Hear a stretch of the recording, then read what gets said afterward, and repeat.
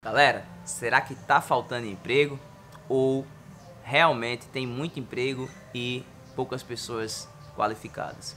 É sobre isso que a gente vai falar no vídeo de hoje. Roda a vinheta pra gente começar.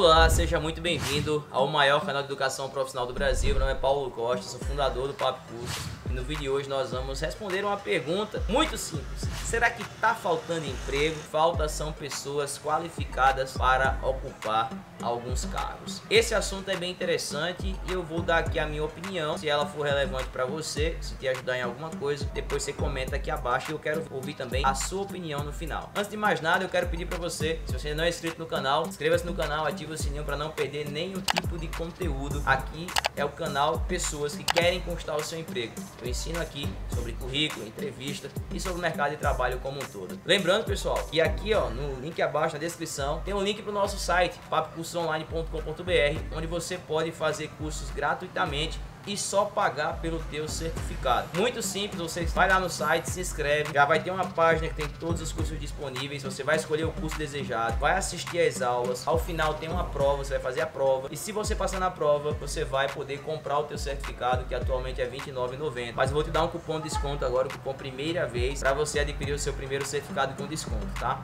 Então Anota esse cupom aí, primeira vez, na hora de pagar o teu certificado, você utiliza ele para comprar com desconto o teu certificado. Turma, será que realmente tá faltando emprego? Tanta gente desempregada. Porque também a gente, quando observa nos sites de, de vagas de emprego, tem tantas vagas disponíveis que passam horas e tempo sem serem preenchidas. Eu falo para você, até no Papo Curso, por exemplo, a gente lançou agora uma oportunidade de emprego é para duas vagas para agente de desenvolvimento, para ganhar em torno de 3 mil a 4 mil reais. Dessa vaga que a gente lançou, vieram vários currículos. Sabe quantas pessoas a gente contratou? Uma. E uma vaga ficou em aberto. Porque falta de preparação dos candidatos. Ou não atendia ao pré-requisito da nossa empresa. Então é muito importante você entender que emprego existe, porém falta mão de obra qualificada, falta mão de obra preparada e é importante que você se prepare, certo? Eu converso com muitos empresários, onde eu vou, tenho contato com o pessoal de CDL, né, Câmara Dirigente Logística, é, dentre outras instituições que são associações empresariais e os caras falam